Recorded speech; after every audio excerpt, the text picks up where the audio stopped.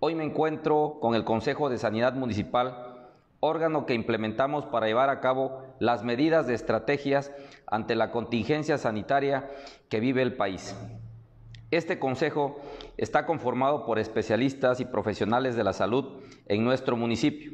Quiero destacar que estamos trabajando de la mano con las instancias de salud que conforma el Consejo de Sanidad Municipal, como la Secretaría de Marina, la Secretaría de la Defensa Nacional, el Instituto Mexicano del Seguro Social, las unidades de los servicios de salud de Oaxaca y la Asociación de Médicos de Huatulco para proteger la salud y bienestar de nuestros ciudadanos. Esta mañana nos reunimos para informarles las medidas que hemos decidido llevar a cabo con base al comunicado que emitió el subsecretario de Salud, el doctor Hugo López Gatel Ramírez. Hoy es muy importante hacer hincapié en las medidas de prevención, ya que las próximas dos semanas son cruciales para evitar el aumento de la propagación del virus a nivel nacional, estatal y municipal.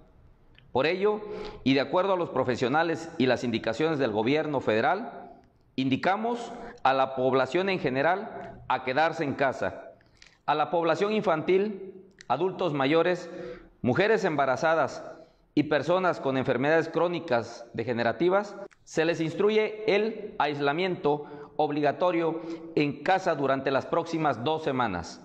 Suspensión de labores una sola persona deberá realizar las actividades sustanciales por el resto de los integrantes de la familia, con el objetivo de reducir el riesgo de contagio durante las próximas dos semanas.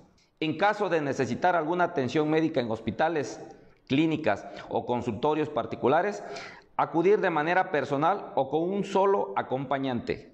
Otra medida de seguridad que hemos decidido implementar es que aquellas personas que sean vistas en vía pública sin justificación alguna, el área correspondiente les hará un exhorto para mantenerse aislados y mantenerse el distanciamiento social en su domicilio.